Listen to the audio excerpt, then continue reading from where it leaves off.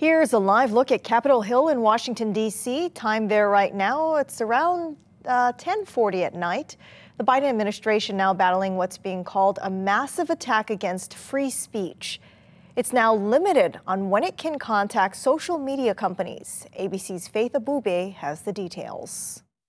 The U.S. Department of Justice is reviewing a federal judge's injunction that could have major implications for First Amendment rights. The order from the judge, appointed by former President Trump, puts restrictions on when Biden administration officials can contact social media companies as a legal challenge moves through the court system. Republican attorneys general in Missouri and Louisiana filed a lawsuit claiming that the White House went too far in pressuring social media companies to remove misinformation about America's election security and the COVID 19 pandemic from their platforms. They're killing people.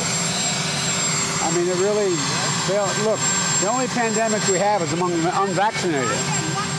And, that's, and, they're, and they're killing people. Judge Terry Doughty calling the Biden administration's efforts a massive attack against free speech and targeted suppression of conservative ideas, adding in part, quote, American citizens have the right to engage in free debate about the significant issues affecting the country. The decision means top White House officials and several federal agencies, including the FBI and the Department of Justice, cannot communicate with social media companies for the purpose of urging, encouraging, pressuring, or inducing in any manner the removal, deletion, suppression, or reduction of content containing protected free speech.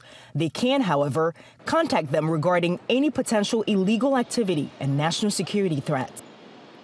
And a White House official tells ABC News that the administration has promoted responsible actions to protect public health, safety, and security when confronted by challenges like a deadly pandemic and foreign attacks on our elections. Again, the DOJ is now reviewing the administration's options. In Washington, Faith Abubey, ABC News.